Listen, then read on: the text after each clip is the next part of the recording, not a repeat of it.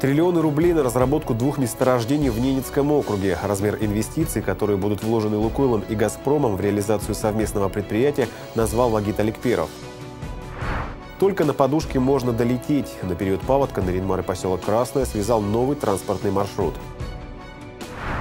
Места для всех. В Ненецком округе появятся места в ясельных группах для детишек от двух месяцев до трех лет. Региону выделено около 72,5 миллионов рублей из федерального бюджета на создание дополнительных мест в яслях. Педагоги-дошкольники города на себе осваивают групповые формы работы с детьми. Занятия проводят представители рыбаков фонда из Москвы. С техникой на «вы» в Наринмаре прошел конкурс профмастерства среди трактористов. Лучшего из лучших выбирали среди выпускников профессионального училища. Здравствуйте! В эфире новости на телеканале «Север». С вами в студии Илья Сахаров. Инвестиции «Лукойла» и «Газпрома» в совместное предприятие, создаваемое для разработки Лайворского и Ванаевийского месторождения, оцениваются в 3 миллиарда долларов. Об этом в интервью ТАСС сообщил президент «Лукойла» Вагит Аликперов. Доли в совместном предприятии распределятся 50 на 50, отметил Вагит Аликперов. Таким образом, на долю Лукойла придется около полутора миллиардов долларов инвестиций. Это действительно масштабный проект, который будет требовать колоссальных инвестиций, и он даст толчок развитию юго-запада э, Ненецкого автономного округа. Мы делаем хорошее открытие на Командишевском месторождении, то есть у нас достаточно здесь большая перспектива. То есть я надеюсь, что вот эти удачи геологоразведки нам будет сопутствовать не только в 2018 году, но и все последующие годы. Напомню, «Газпром» в 2016 году выиграл лицензии на оба месторождения, предложив за них более 23 миллиардов рублей при стартовом платеже 8 миллиардов. В тендере также участвовал «Лукойл». Как заявил член правления «Газпрома» Всеволод Черепанов, по имеющимся лицензиям необходимо провести геологоразведку и переоценку запасов месторождений. Месторождение планируется ввести в разработку после 2022 года. Уровень стабильной добычи будет составлять 10 миллиардов кубометров в год. Развитие Арктики – новый вызов для России. От того, насколько успешно страна сможет работать на этой территории, во многом будет определен ее успех в будущем. Ключом к развитию арктической территории должно стать освоение Северного морского пути, как главной жизненной артерии для северных территорий. Задача, стоящая сегодня на повестке дня – сделать его по-настоящему глобальной, конкурентной транспортной артерией. Об этом говорили участники панельной дискуссии «Арктический потенциал. Северный морской путь как драйвер экономического роста», прошедшей в рамках Петербургского международного Всемирного экономического форума. Северный морской путь – важнейшая часть инфраструктуры экономического комплекса Российской Арктики и связующее звено между Российским Дальним Востоком и западными районами страны, между Азией и Европой. Севморпуть формирует условия для развития инфраструктуры морских портов, железнодорожных и речных коммуникаций. Одним словом, обеспечивает условия жизнедеятельности на северных территориях России. Поэтому, отмечают эксперты, в данном направлении развития Арктики необходимо создание альянса, в который бы вошли представители власти, добывающие компании и судовладельцы в этом э, триумвирате должен быть создан бизнес-проект.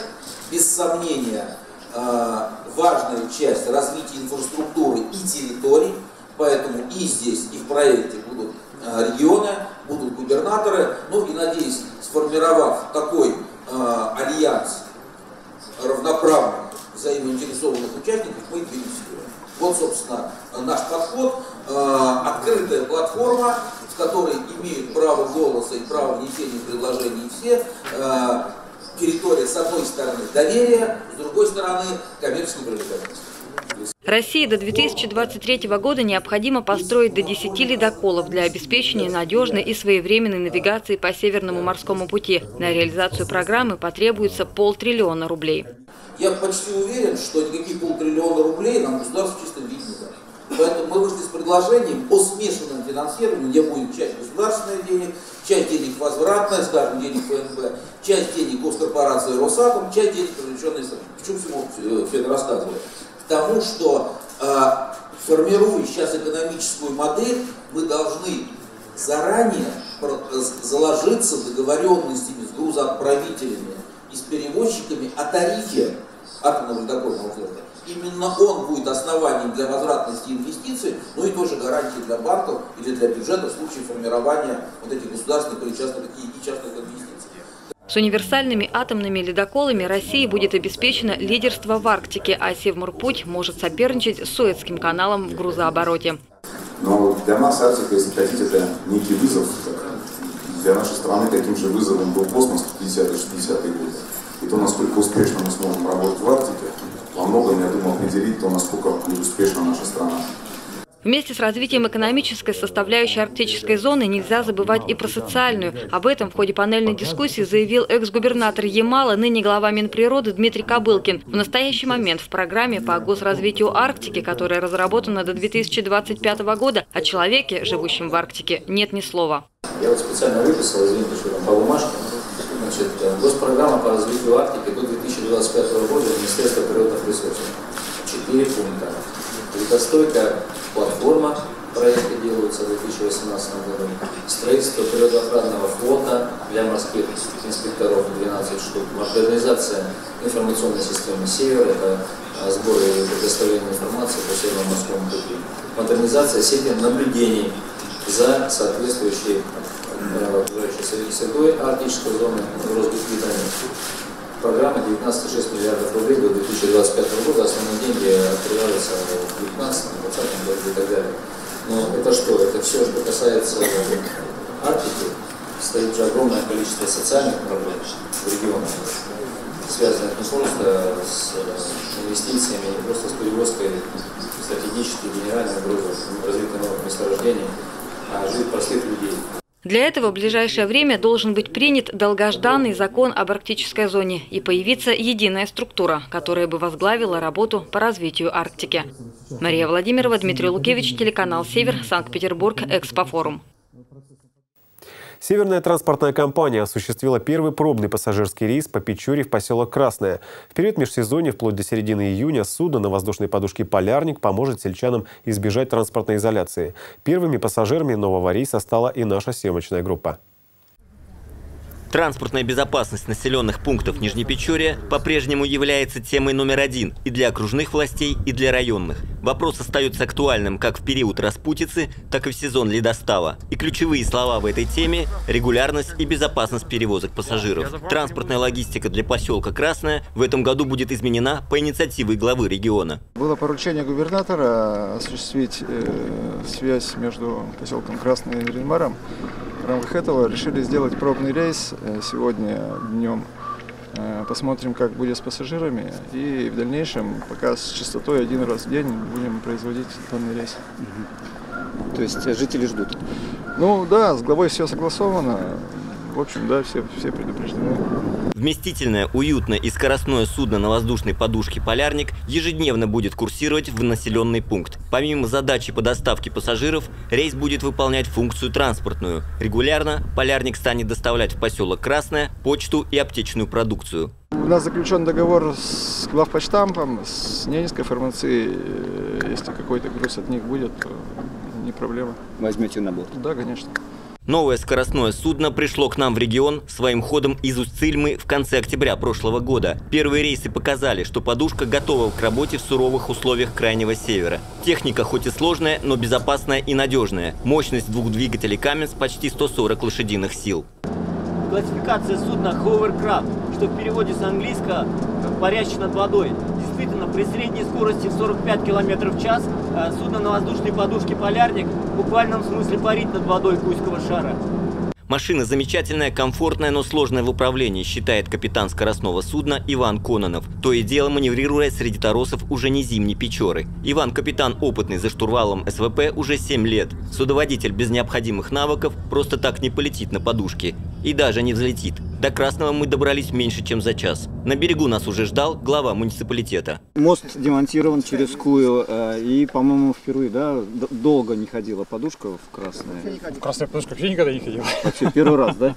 Можно сказать, историческое событие, да, в Красное. Альтернативный транспорт, воздушная подушка. Посмотрим, насколько это понравится жителям, устроит расписание и все прочее. Но, по крайней мере, возможности безопасно добраться до Наримара, если появится.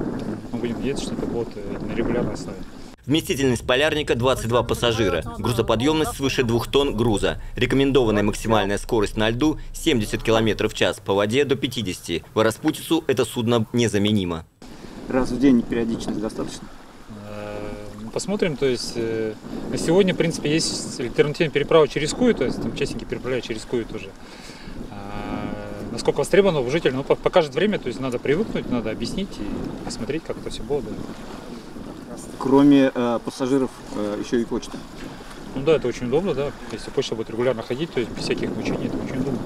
Выполнив первый регулярный рейс, полярник возвращается в Нарианмар. Ветер идет в корму, капитану то и дело приходится сбавлять скорость, маневрировать. Доставив нас в город, судно набирает новых пассажиров. На этот раз в Тельвиску. В первый рейс, как на первое свидание. Наше свидание получилось удачным. Тимофей Жуков, Леонид Шишелов, телеканал «Север». До 2022 года для переселения из ветхого жилья за счет средств округа будет приобретено 796 квартир. Речь идет о приобретении жилья в Наринмаре и поселке Искателей. Как сообщили в Департаменте строительства, ЖКХ, энергетики и транспорта Ненецкого округа, общая стоимость приобретаемого жилья, в том числе путем участия в долевом строительстве, составит более 2 миллиардов 700 миллионов рублей. Программа переселения из ветхого и аварийного жилья в регионе предусматривает три этапа реализации. Первый этап для Наринмара и поселка Искателей планируется завершить в этом году со сдачей первых трех секций в строящемся доме по улице Авиаторов и сдачей двух домов по улице Поморская. Общая потребность в рамках первого этапа для двух муниципалитетов составляет 70 жилых помещений. Ко второму этапу переселения в Наринмаре и поселке Искателей планируется приступить в следующем году. Ненецкому округу выделено около 72,5 миллионов рублей из федерального бюджета на создание дополнительных мест в яслях. Об этом сообщил руководитель Департамента образования, молодежной политики и спорта НАО Илья Иванкин. К концу 2021 года в округе будет создано 93 дополнительных места в дошкольных образовательных учреждениях для детей от двух месяцев и до трех лет. В 2019 году в селе Несь планируется ввести в эксплуатацию новый детский сад, где появится 17 мест для указанной категории детей. В 2020 году ожидается 60 мест в построенном к этому времени новом здании детского сада в городе. На строительство этих двух садов из федерального бюджета выделено по 36 миллионов рублей. К 2021 году планируется сдать в эксплуатацию новое здание школы-сада в поселке Нальминос, где для малышей до трех лет будет предусмотрено 16 мест. Доступность дошкольного образования для детей в возрасте от 2 месяцев до 3 лет. Этот показатель определен на основании данных электронной очереди и планируемого количества ввода дополнительных мест в возрасте от 2 месяцев до 3 лет к 2020 году, где мы планируем достигнуть показателя на уровне 100% согласно поручению президента. Ранее глава Ненецкого округа Александр Цибульский неоднократно призывал администрацию округа пересмотреть подход к привлечению дополнительных средств на развитие, в том числе социальной инфраструктурой. В частности, временно исполняющий обязанности губернатора поручил профильным ведомствам оперативно проработать вопросы привлечения дополнительных средств на субсидирование авиаперелетов, строительство и модернизацию образовательных учреждений и домов культуры, охрану окружающей среды. Педагогам-дошкольникам Наринмара рассказали про детей. Именно так называется образовательная программа, которую организовали представители Рыбаков фонда из Москвы. Данная программа – пример успешной реализации культурно-исторической теории Выгодского, которая включает в себя комплекс оригинальных педагогических технологий, направленных в первую очередь на развитие саморегуляции и обогащение игровой деятельности у дошкольников. Ой, Гиль, отпусти меня, пожалуйста, домой к щурятам моим. Я тебя домой заберу, из тебя уху сварю. Не надо из меня уху, я любое твое желание исполню. Только скажи слова заветные. Педагоги-дошкольники города на себе осваивают групповые формы работы с детьми. Один из ее методов – инсценировка сказки, но разными способами. Одна группа показывает сказку без слов, другая вместо реквизита задействовала коллег, третья одного героя заменила игрушкой.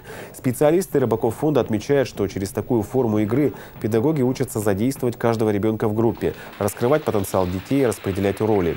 В рамках занятий педагогов ознакомились с принципами и технологиями организации, развивающей предметно-пространственной среды в программе дошкольного образования, ориентированной на ребенка. Рассмотрели игры как способ развития потенциала дошкольника. Программа инновационная, интересная, э, в рамках которой сейчас у нас проходит обучение в разных регионах. Э, педагоги включают в образовательный процесс элементы программы, технологии решения. И она очень результативная. Мы надеемся, что благодаря сегодняшним семинарам большое педагогическое сообщество детских садов Ненецкого автономного округа активно включится во все наши программы, будут участвовать в конкурсах, приедут на летнюю школу, э, будут обучаться по программе для, для про детей. Э, таким образом и на территории Ненецкого автономного округа создастся такой, такое интересное, яркое сообщество педагогов-прогрессоров. Лучшего тракториста сегодня выбирали среди выпускников Ненецкого профессионального училища. После теоретической части, в которой ребята показывали свои знания в области правил дорожного движения, в финале оказалось пятеро участников. За конкурсом наблюдала и наша съемочная группа. Конкурс профмастерства в Ненецком профессиональном училище проводится каждый год при условии, что по данному направлению есть выпускная группа. В этом году выбирают лучшего автомеханика, сварщика и тракториста. По количеству набранных баллов после теории в финале оказались 5 ребят из 20. В практической части трактористы должны подъехать задним ходом к прицепу, закрепить его, показать разворот. Всего надо выполнить 6 упражнений.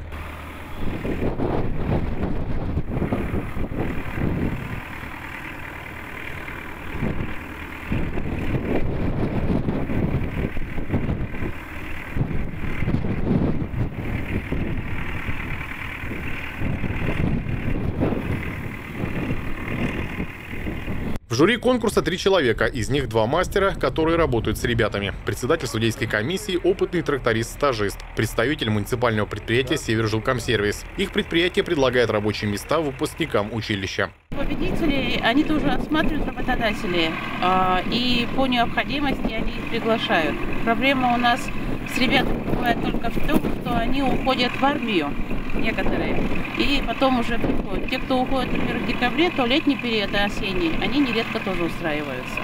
Поэтому, ну, надеемся, что сегодня и победители, и два призера, как правило, три человека, мы можем их позиционировать как победителей лучших из лучших. И я думаю, что и предлагать работодателям в том числе. После подведения итогов победитель получит денежное вознаграждение в размере 4000 рублей. Остальные четверо финалистов также будут поощрены. Иван Никонов, Александр Бобрикович, Владислав Носкин, телеканал «Север». 1 июня в Наринмаре состоится благотворительный концерт, посвященный Дню защиты детей. Его организатором выступает Дворец культуры «Арктика» при поддержке уполномоченного по правам ребенка в Ненецком округе Римы Галушиной. В благотворительном концерте под названием «Взрослые дети» примут участие представители органов власти и общественных деятелей Ненецкого округа, а также детские и творческие коллективы. Программа концерта обещает организаторы не оставить равнодушным ни одного зрителя, поможет окунуться в знакомый с детства мир сказки и добра, подарит улыбки и заряд хорошего летнего настроения. Каждый творческий номер обещает быть уникальным и интересным, а гостей праздника в течение вечера ждут приятные сюрпризы. Концерт состоится 1 июня в 18.00 в концертном зале Дворца культуры «Арктика». Стоимость билетов от 200 до 500 рублей. Все вырученные средства будут переданы в Ненецкое региональное отделение Российского Красного Креста для помощи детям, оказавшимся в трудной жизненной ситуации. Такова была информационная картина к этому часу. Далее смотрите прогноз погоды.